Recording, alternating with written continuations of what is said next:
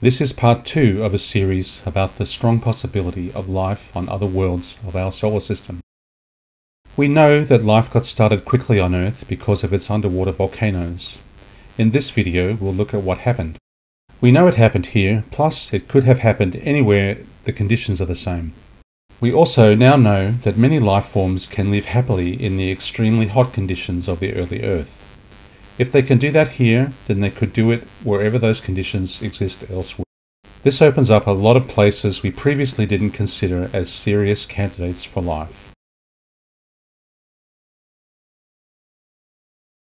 Earth was not very hospitable when it first formed. You wouldn't have recognized it, nor would you have wanted to live there. For starters, it was very hot.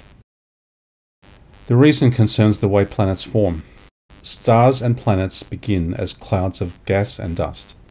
Tiny particles join up to form bigger and bigger particles. The larger they get, the more pulling power they have. So the early solar system quickly switched from dust and gas drifting around to great mountain sized or larger chunks of rock smashing into each other at high speeds. These collisions released energy. During the Earth's early formation, it was struck an uncountable number of times with very high energy impacts. The Moon's surface preserves evidence of that violent period in the Solar System's history. Incidentally, the Moon itself formed as a result of one extremely large impact, which also knocked Earth off its upright rotation. Each impact gave the young Earth more energy, so much that the planet was molten throughout its early phase. Life then would have been completely impossible. Earth was too hot. So life could not have arisen until the intense impact phase was over. If life had evolved, large later impacts would have sterilized the Earth again. In the same way that after a storm there is one last raindrop, finally the bombardment did end. That was about 4 billion years ago. The Earth started to cool to form a solid crust.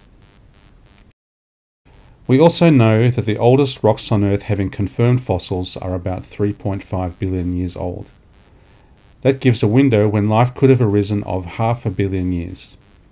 However, we're confident life evolved earlier in that period, probably 3.8 billion years ago, although it's very difficult to be sure.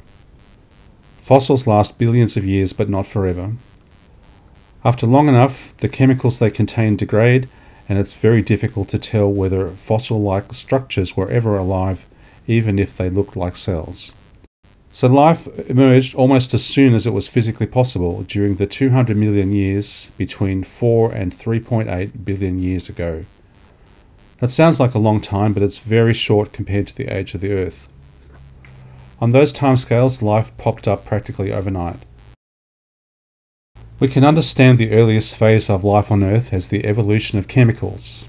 In the right circumstances, simple chemicals become more complex. As we will see, complex chemicals be become very complex. Eventually, they started copying themselves. We still don't know all the details of how that happened. For us, the point is that life is totally physical and emerges through a simple and repeatable process. Wherever conditions are suitable, life will always emerge the same way. That's good news if we want to find it on other worlds.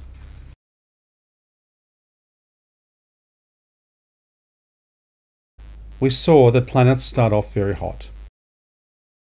The Earth has cooled a lot since then, but remains hot inside. So it still has several liquid or semi-liquid layers. These convey heat from the Earth's molten center to the surface via convection currents. Such currents break up the planet's crust, the hard outer surface layer, into plates and push them around the surface.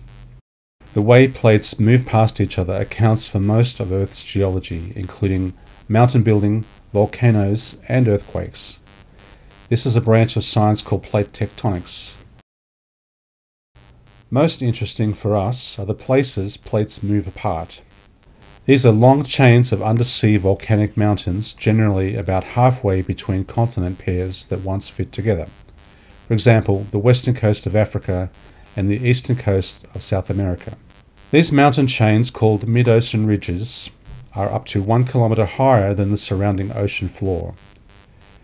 If we took away Earth's oceans, the ridges would look like a bit of the seams of a baseball. Most of Earth's volcanoes are this underwater type. With undersea volcanoes, lava passes through the sea floor saturated with water to a depth of several kilometres. Contact with lava heats the water to up to 450 degrees Celsius.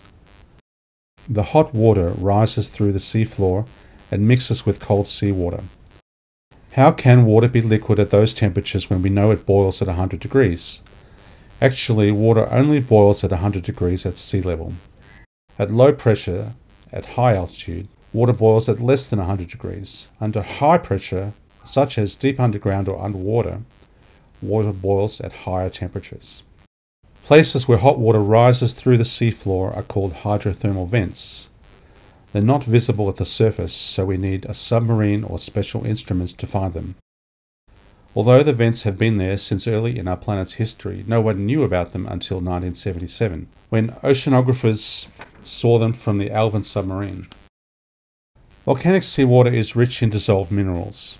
As the rising hot water comes in contact with cold seawater at 2 degrees, the minerals undissolve in a way that looks like smoke rising.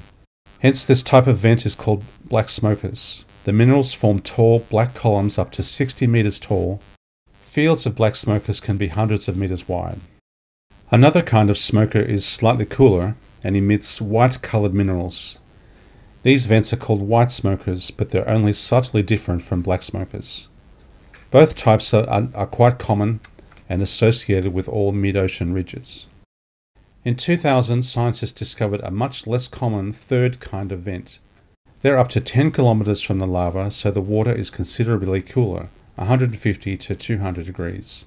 Also, the base rocks are generally not volcanic, meaning they have a different chemistry to the smokers. The newly discovered type of vent deposits a crumbly, whitish rock rich in carbon and oxygen, or carbonate. The rock has a foamy structure. Tiny cells are separated by thin mineral walls, which let water through, but not large molecules. The rock builds up in large towers of similar height to the black smokers. From this appearance, these vents get their name, Lost City Hydrothermal Vents, or simply Lost Cities. Here, the hot water's upward movement draws in fresh seawater from the side, like an undergravel aquarium filter so seawater constantly cycles through the Lost City towers. What matters for us is that the water coming out of the seafloor at these places is extremely alkaline, the opposite of acidic. Regular seawater is just a bit alkaline, so Lost City towers are highly alkaline on the inside and less alkaline closer to the surface. This gives us what's called an ion gradient. That's a zoning of ions from a high concentration to low. It gives us a flow of electrons from positive ions towards negative ions, or in other words, an electric current. Of course, hydrothermal vents supply heat energy, but their most important contribution is this very powerful form of electricity. Scaled up, it's proportionally more voltage than a lightning bolt. Since the early Earth had no free oxygen, seawater then was less alkaline than today. Thus, the ion gradient was even greater so too the amount of available electrical power. Another effect of the primordial low oxygen environment was that certain metal ions were then available in seawater which are not now. Today's oxygen removes them from seawater. These ions were then available to help make chemical reactions go faster. The reaction concerning us involves lost city rocks using the available energy to react with seawater rich in carbonate minerals and carbon dioxide. This produces hydrogen and methane. Starting with those basic units, the high temperatures, high pressures of the ocean floor, plus the circulating water, combine to create ever more complex organic molecules. It's something like old style percolators, where liquid coffee cycles through the coffee grounds getting stronger and stronger. Laboratory simulations of the process, recreating lost city conditions, have produced a series of complex molecules. Those units, amino acids and simple proteins, can go on to make everything cells need, including primitive genetic material. This series of reactions uses energy and carbon dioxide to make complex molecules. The process is almost identical to what powers all life today, although reversed. As we know it now, the process breaks apart complex molecules to release carbon dioxide and energy. Regardless of direction, it's the same reaction. How could a geochemical process so closely match what goes on inside cells? Instead of being a startling coincidence, this fact has profound meaning. The chemical mechanisms of life arose before life itself. Earth's first living things were not independent cells as we know today. The first forms of life had none of the structures we normally recognize no genes, no membranes. All that came much later. When self copying chemical processes consume material from their environment in the process of copying, that's pretty close to how we define the simplest kinds of life. There is no clear separation between life and non life.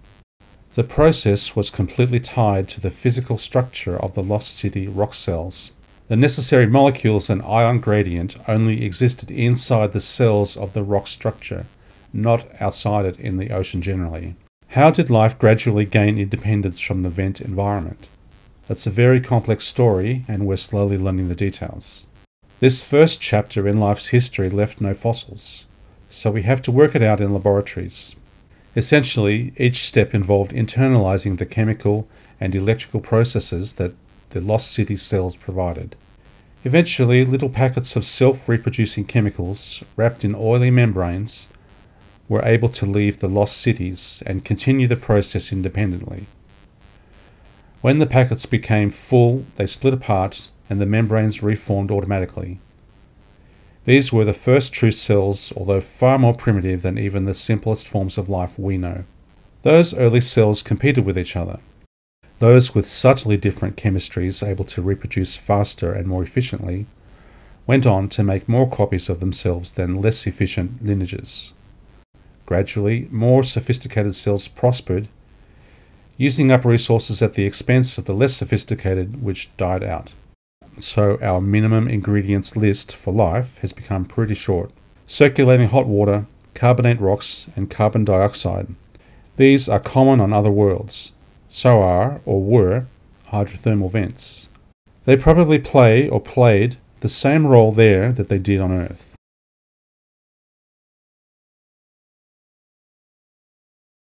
A lot of complex life is very fussy about conditions. Tropical aquarium fish, for example, go belly up if the temperature varies by even a few degrees. Some plants die if they get a touch of frost or too much direct sun. Other living things are much hardier, and here we might think of lichens or certain desert plants. However, even the toughest of these are sensitive and fragile compared to newly discovered kinds of organisms called extremophiles. The word means living things able to survive extreme conditions that would kill other life forms. They can survive heat, cold, dryness, radiation, or high pressures. A few can even take several of these conditions at the same time. The record for the toughest complex organisms yet discovered may go to tardigrades. These microscopic creatures, 0.3 millimeters long, also known as water bears, look like eight legged caterpillars, although they're not insects. They made it through a 10 day trip to space involving near absolute zero temperatures. Tardigrades also came back from 30 years of deep freeze. They cope with cold by ridding their bodies of water in conjunction with using an antifreeze, while slowing their metabolism to immeasurable levels.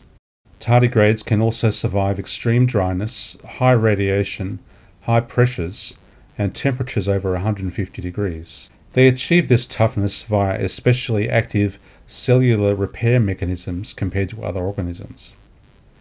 Yet technically, tardigrades don't really live in extreme conditions, they merely have amazing capacity to endure them by switching off.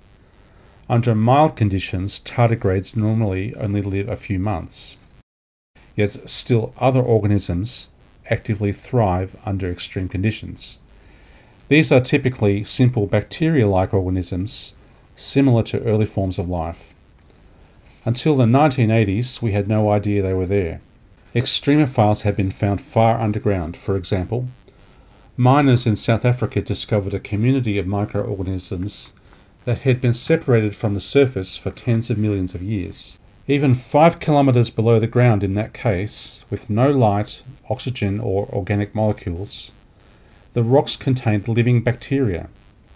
The bacteria live between mineral grains, getting their nutrients directly from rock. The same kind of cells has been found pretty much everywhere we've dug underground.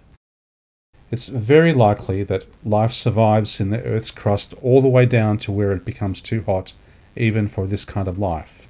That depth may be up to 7 kilometers below ground. How hot is too hot for extremophiles? We know some can live happily in hot water up to 120 degrees. How the microbes manage that is not fully known. At least they have chemical protection against the high temperatures and very active mechanisms which repair the protein breakdown that would kill anything else. It's not a coincidence that early forms of life were also able to tolerate high temperatures. As life moved away from the hydrothermal vents into the cooler parts of the ocean, it had less need of this ability. Only a few modern forms of life retain it.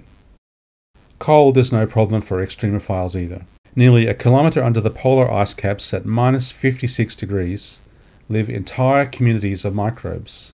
Similar cold loving bacteria have been found under Antarctic sea ice at minus 45 degrees Celsius, inside glaciers, and even in lakes underneath Siberian permafrost, or land that's always frozen. Like tardigrades, some microbes produce an antifreeze in their tissues. Some can even stay dormant indefinitely. Scientists took ice samples from the bottom of Greenland's ice sheet, which had been frozen for 120,000 years. The meltwater revealed many types of living bacteria. Even the Atacama Desert in Peru, Earth's driest place, is thriving with life. You can't see it, but it's there, even in the saltiest sand. Certain other types of microbe can live in conditions more acidic than battery acid. Some can survive lethal radiation. If life on Earth could cope with those harsh conditions, life elsewhere could too. Martian daytime surface temperatures are similar to Antarctica.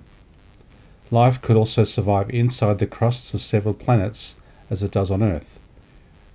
Here, that kind of life gets its nutrients directly from carbonate minerals, and those same minerals exist on other worlds.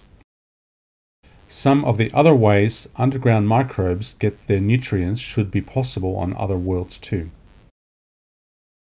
We used to think that life was restricted to a narrow zone around the Sun where liquid water can exist on the surface of a planet. These days, that would mean Earth and nowhere else. However, now it seems liquid water can exist in plenty of places outside this zone, particularly below ground. The fact that life on Earth thrives in such places greatly increases our list of candidate worlds. The combination of a prebiotic chemical soup and volcanic energy sources is not unique to Earth. Plus, we know from Earth that living things can exist in extreme conditions where we once thought they could not, such as in volcanic vents or deep inside rock. If you'd like to keep learning about this topic, click on the next video in the series. That is about the short list of candidate worlds and what we will need to look for there. Thanks for watching.